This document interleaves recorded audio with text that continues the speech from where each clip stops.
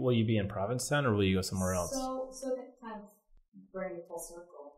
I don't think that because I don't think that financially, uh, it sounds really expensive. I mean, Yeah. that's it's outrageous. And Yeah. it's- And it's seasonal too, so it's like that's the other thing. yeah. Is that if you don't make all your money in two months in of the three year. to months Yeah. or yeah. and essentially it's I mean, you have It's like two and change. season, but if you're spending ten grand a month and you can't even get thirty seats in your space, what do you think?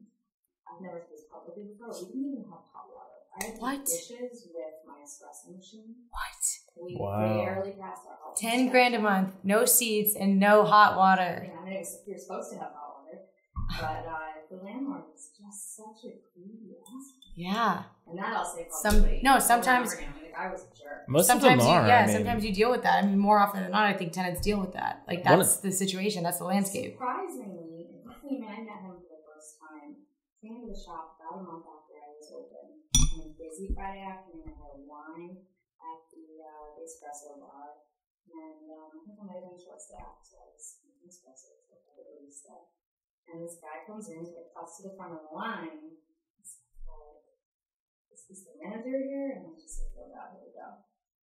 Oh, I'm the manager. I'm the inspector. How can I help you? Oh, is the owner here? Oh my You're god. kidding me. I was like, Still me. Still me. Yep. How can I help you? And he's like, oh, I'm the landlord. And he, he takes me away from my business. Yeah, totally. after- Particular afternoon, he chastised me for not having a, um, a barker out front. And in Provincetown, when we walk down, down Commercial Street, a lot of the more established touristy restaurants will have somebody standing out front with the menu Mhm. and barking at people on the street to try to get them to come inside. I didn't know that that was the term for them, and I'm just so happy it is because it's annoying. A barker. It's so annoying. And Wow, if I didn't know that was a thing either. street, I cross the street. It's not the experience I'm No. looking for. And why would he expect that from you, or or Apparently, demand it? That's that's like part of the culture down there for these tourist restaurants, and that's how they make their Ugh. money to station somebody out there and aggressively go after business. And as a as a someone wanting to have a destination location, I was just in the wrong place, and it wasn't the right space. And so, had I had more time to think about it before I delved into that space, Mm-hmm. I probably would have decided against it in the long run, but because it was a sublet and I knew that there was an out, Yeah. so what's the worst thing that can happen? Right. Flush fifty thousand dollars down the toilet, but come away with a prototype and an experience of, Like so much run in the experience. future? How are we not going to run this in the future? Mhm. What works in this space? What doesn't work in this space? What, as just a person, not a business owner, but like a person has to be here every day. Right. How does this feel? Mhm. Do I like what I'm doing? Do I like this location? Do I like the people that are coming in my shop? Are they making me feel fulfilled? And the end of the day, I loved the community and I loved being able to have this sort of subversive yet also luxury brand exist in a community that totally accepted. But when push comes to shove, you can't afford to be there. You're a business.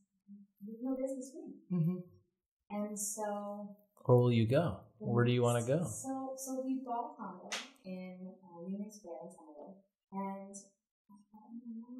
no, back in the city, I'm tied down to the city. Mind you, I was homeless when I was in Provincetown. The first few months we lived in a tent.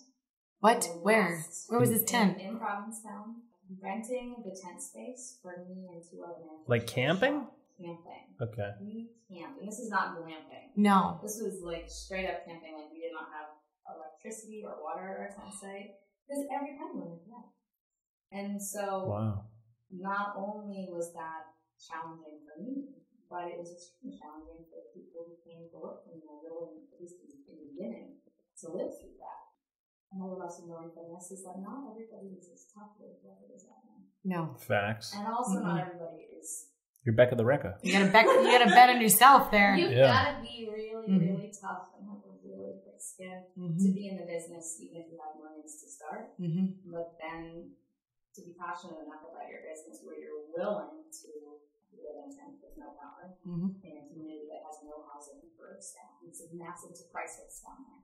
Oh, that's so interesting. And I was Yeah. not the only business owner living in town. At the end of the summer, when some of my staff left, because they got burnt out. of living out I think west. we've got like the headline of like you know the, the intro here. And Wow. then moved back into my shop, which I totally wasn't supposed to do. Uh, and I just left for the following In the Christmas, Um, on a beach chair in between two ice cream freezers. The office was a little too exposed to be outside, and I wanted it to be like really under the radar and private, and you know, I was kind of breaking the rules a little bit. Yeah.